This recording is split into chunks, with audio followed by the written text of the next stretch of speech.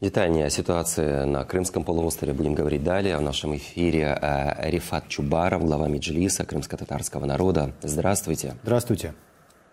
Добрый день всем. Скажите, а к чему такое нагнетание, вот этот желтый уровень террористической угрозы на 16 дней? С чем это может быть связано?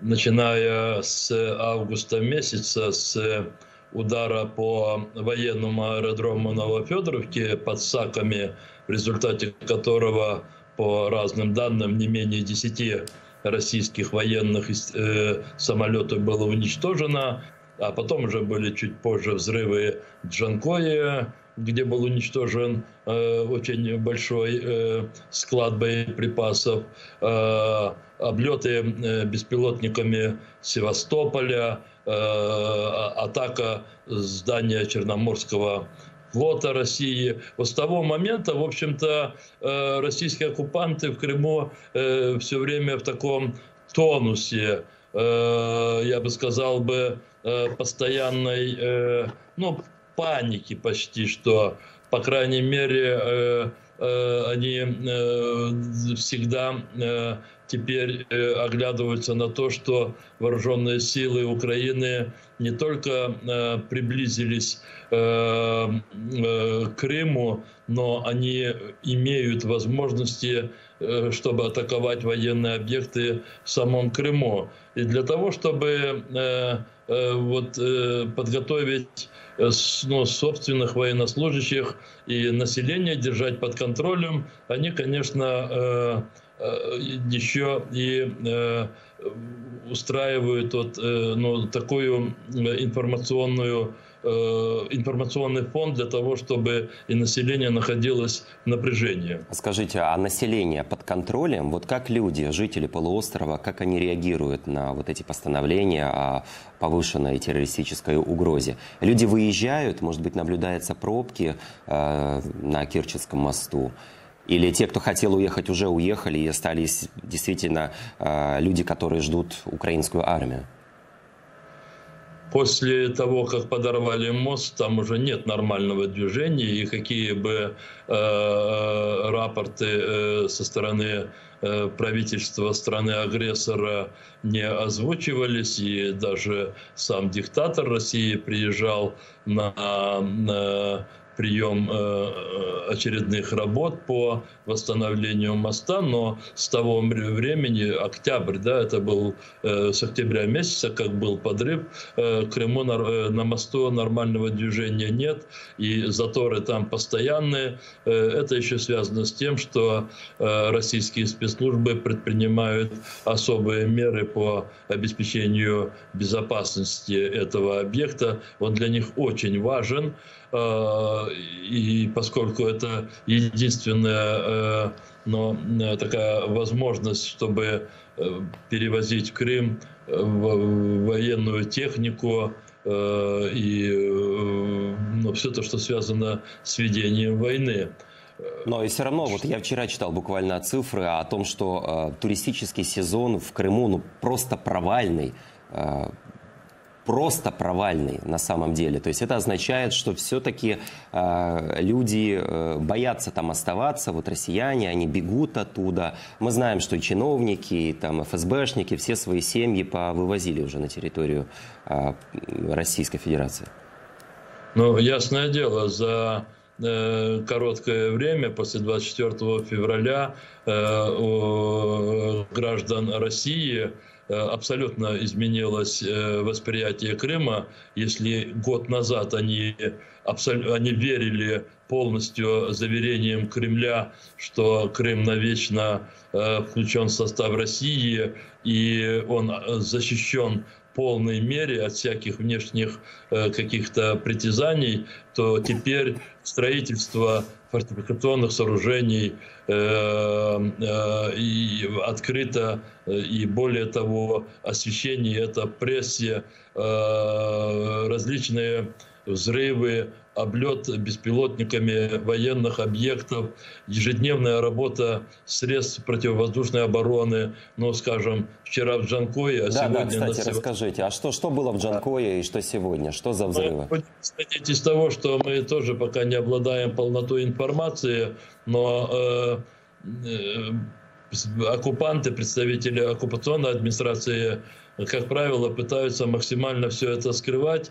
Говорили о том, что Э, в Джанкое э, были э, замечены беспилотники, и они были обезврежены силами противовоздушной обороны. Сегодня Вы также, Севастополь... знаете, над Энгельсом аэропортом тоже был замечен ну, да, беспилотник да, да. и сбили свой истребитель.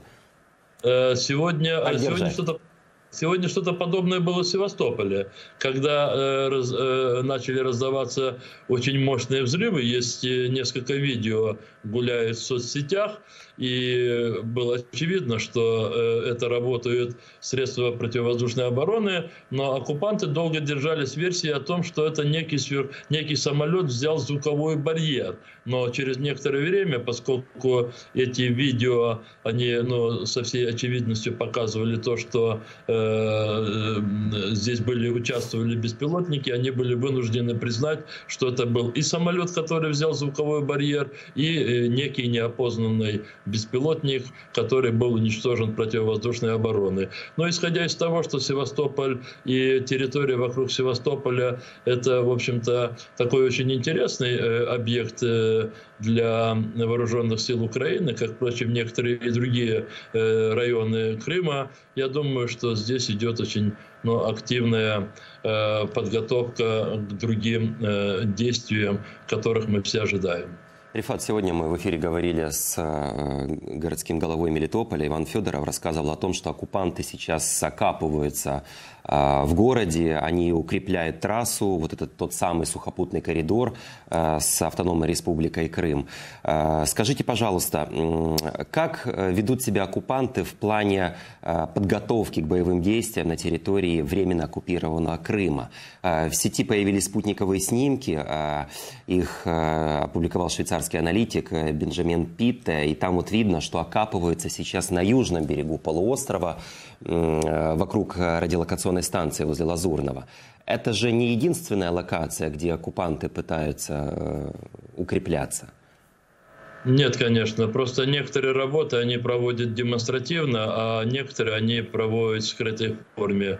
Демонстрируют вот, ну, подготовку к защите Крыма, как говорят представители оккупационной администрации, как правило, вот такие работы демонстрируются на э, в Северном Крыму, э, где роются окопы, устраиваются блиндажи и устанавливаются специальные бетонные изделия, ну, которые должны препятствовать наступлению вооруженных сил Украины. Очень э, большое внимание Э, уделяется э, укреплением на, э, зап, зап, на западе Крыма. Это близ снова же Саки, Донузлав. Евпатория. И в этой части Крыма также оборудованы сразу же после оккупации современные ракетно-зенитные комплексы, откуда, кстати, обстреливаются материковая часть территории Украины. Эти районы являются очень важными с точки зрения российской администрации, но и, разумеется, для нас, для вооруженных сил Украины, они также представляют очень большой интерес. Что касается действий российских оккупантов под Мелитополем, то э, это абсолютно э, ожидаемо, поскольку э, если перерезать этот э, э суходолный, э, ну, э, дорогу угу. по суше из Крыма э, через Мариуполь в Ростовскую область практически открывается прямая дорога к освобождению Крыма. В общем-то, надо всегда помнить, что и вот и прошлой войне, Второй мировой войне, собственно, Мелитопский плацдарм и э, был э, предтечей освобождения Крыма, и сегодня это точно так же будет повторяться. Знаете, что в этом всем хорошо, что оккупанты, они уже как данность, как факт приняли, что будут э, боевые действия на территории Крыма. То есть они уже окапываются, они уже понимают, что там они проиграют, так или иначе, э, левобережную часть э, Днепра, там Херсонской области, она вскоре будет освобождена и будут боевые действия на территории Крыма. Как вы думаете, учитывая предыдущие все, так сказать, жесты доброй воли и то, как бежали позорно оккупанты с других ранее оккупированных территорий, как сильно они будут цепляться за крымскую, за нашу крымскую землю? Все будет зависеть э, от того, э, насколько прорывными будут действия вооруженных сил Украины. Но можно вывести такую простую формулу. Чем успешнее будет продвижение э, Э, подразделений вооруженных сил Украины в направлении Крыма, а, тем э, меньше вероятности кровавых сражений на территории самого Крыма. Э, это все взаимосвязано. И поэтому но, все будет зависеть от того, какой будет дальнейший, дальнейшее развитие хода войны. И если будут нанесены в свое время очень мощные удары по Черноморскому военному флоту, а, какую бы он опасность там не представлял, но он ограничен в своих возможностей, поскольку проливы э, закрыты Турецкой республикой, и она здесь очень четко э, исполняет международное право, то уничтожение нескольких э, таких ведущих военных кораблей России в Черном море уже будет означать э, кардинальное ослабление возможности России защищать Крым. И а, э, новый подрыв или полностью уничтожение э, моста через Керченский пролив, это практически будет означать неминуемое освобождение Крыма относительно но такой э, некровавый способ. Да, многие военные эксперты предполагают, что действительно э, не военным путем Крым может быть э, освобожден. Посмотрим. И еще хотел у вас спросить, если можно коротко, о движении сопротивления. В Крыму сейчас мы фиксируем различные акции протеста оккупантам. Потенциал сопротивления огромный. Об этом говорил э, недавно и постоянный представитель президента Украины в Автономной Республике Крым Тамила Ташева. Э, известно, что на 1 ноября в Крыму были зарегистрированы 184 административных дела о дискредитации вооруженных сил Российской Федерации. Сопротивление ведь будет возрастать, наверное, с приближением наших войск к Крыму. Э, абсолютно правильное утверждение. Чем ближе э, будут вооруженные силы э, Украины к полуострову, тем значительнее будет сопротивление жителей Крыма.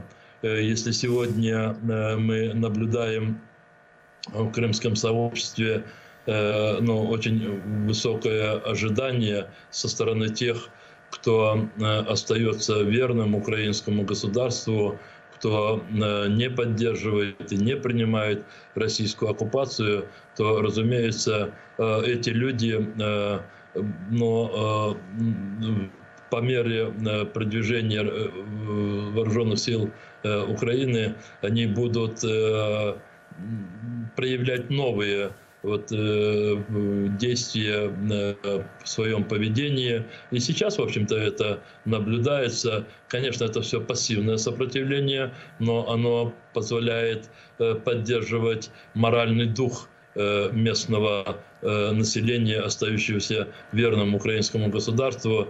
Э, скажем, и вы обратили внимание, скорее всего, в своих передачах на использование Э, символики украинской, в частности цветов украинского государственного флага да. в оформлении городов к Новому году. Но в то же время надо э, заметить, что... В среди... Ялте, да, если не ошибаюсь, елочку украсили?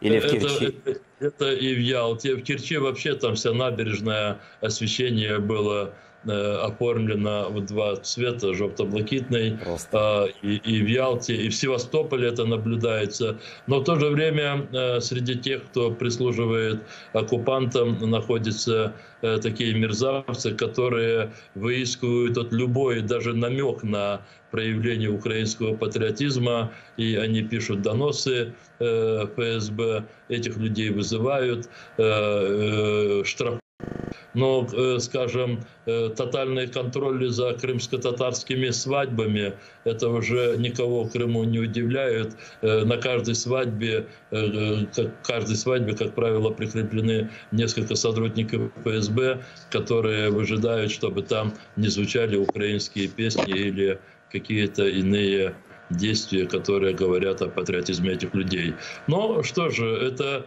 э, все перейдет в активные формы сопротивления, как только э, ситуация будет э, ну, позволять это людям делать. Что ж, спасибо всем крымчанам, э, которые ждут, э, когда наши войска освободят полуостров и которые сопротивляются российским оккупантам и тем самым приближают нашу победу. И вам спасибо, Рифат. Рифат Чубаров был в нашем эфире, глава Меджлиса крымско-татарского народа.